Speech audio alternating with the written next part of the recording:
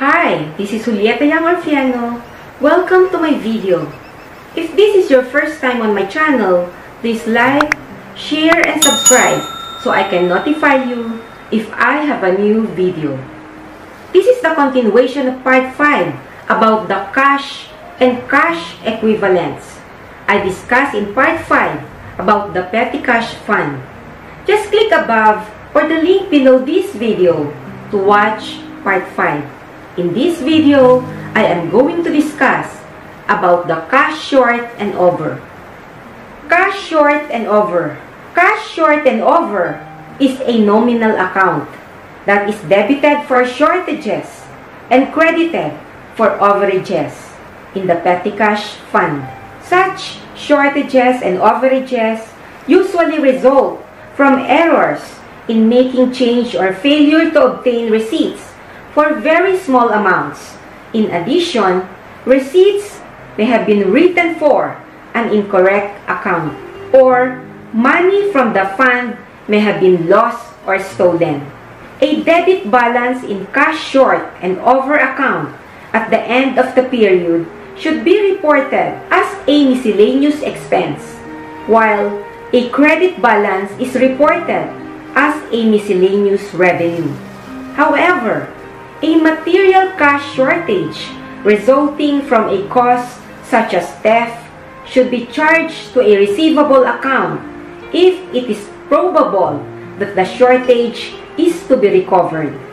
For internal control purposes, a significant amount of cash shortage in the petty cash fund should be properly documented. A petty cash voucher should be prepared covering the shortage and the same should be submitted to the general cashier together with the other paid petty cash vouchers for reimbursement. On the other hand, cash items representing cash overage should be taken out of the petty cash fund and should be deposited to the general cash account of the company to maintain the petty cash fund account at its impressed balance. Thus, the deposit of the cash overage is taken up by a debit to cash in bank and a credit to miscellaneous income. To document the existence of material cash overage, an official receipt may be prepared by the company. To illustrate, assume that the petty cash fund was originally established at 10,000 pesos on December 1st, 2009. To record this transaction, the entry is debit petty cash fund for 10,000 pesos and credit cash in bank for 10,000 pesos. From December 1st through December 20, payments were made from petty cash fund for the following items. Transportation for 2,300 pesos, representation expenses for 3,400 pesos, office supplies for 4,200 pesos. No entry is taken up to record the said payments. On December 21st, petty cash vouchers were submitted to request reimbursement for the said expenditures. A check for 9,900 pesos was issued to replenish the petty cash fund. The entry for the replenishment is debit transportation expense for 2,300 pesos, debit representation expense for 3,400 pesos. Debit office supplies expense for 4,200 pesos. And credit cash in bank for 9,900 pesos. On December 31st, no replenishment of the petty cash fund is made. A count of the fund revealed the following composition.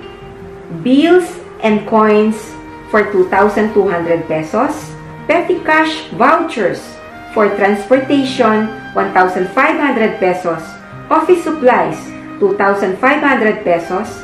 An employee advance, 3,000 pesos.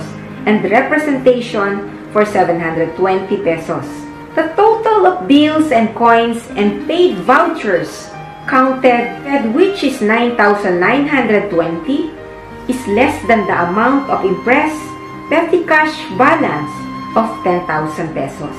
Thus, the difference of 80 pesos is missing cash which is reported as cash shortage. The adjusting entry on December 31st to remove the non-cash items from the petty cash fund and to show the correct amount of petty cash fund on the balance sheet is debit transportation expense for 1,500 pesos, debit office supplies expense for 2,500 pesos, debit advance to employees 3,000 pesos, debit representation expense for 720 pesos, debit cash short or over for 80 pesos, and credit petty cash fund for 7,800 pesos.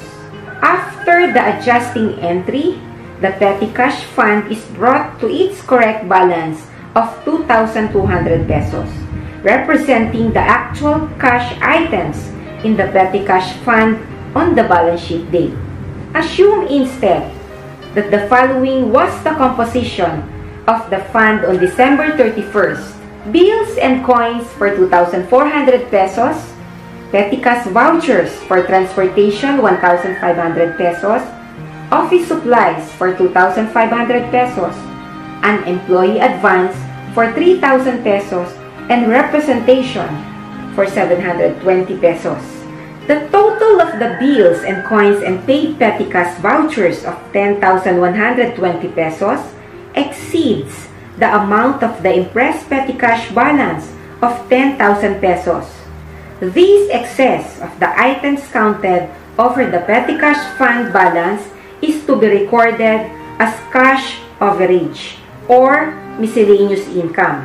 The adjusting entry on December 31st is debit transportation expense for 1,500 pesos, debit office supplies expense for 2,500 pesos, debit advances to employees 3,000 pesos, debit representation expense for 720 pesos, and credit petty cash fund for 7,720 pesos.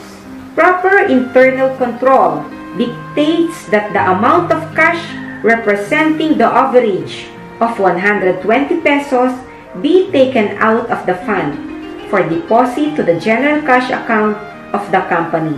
This would bring the remaining balance of bills and coins equal to 2,280 pesos.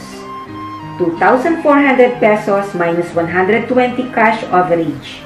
The entry for the deposit of cash average is debit cash in bank for 120 pesos and credit miscellaneous income or cash average for 120 pesos. After the deposit of the cash average, the total composition of the fund would be 10,000 pesos, 2,280 pesos bills and coins and paid petty cash vouchers of 7,720 pesos, which is the amount at which the petty cash fund is originally established. Thank you for watching my video. I hope you learned something from this video. I did part 7 and continuation of this video wherein I discuss in part 7 about the reconciliation of bank balances. Just click above or the link below this video to watch part 7. Don't forget to like, share, and subscribe on my channel so I can notify you if I have a new video. Once again, this is Julieta Yang Orfiano. See you on my next video.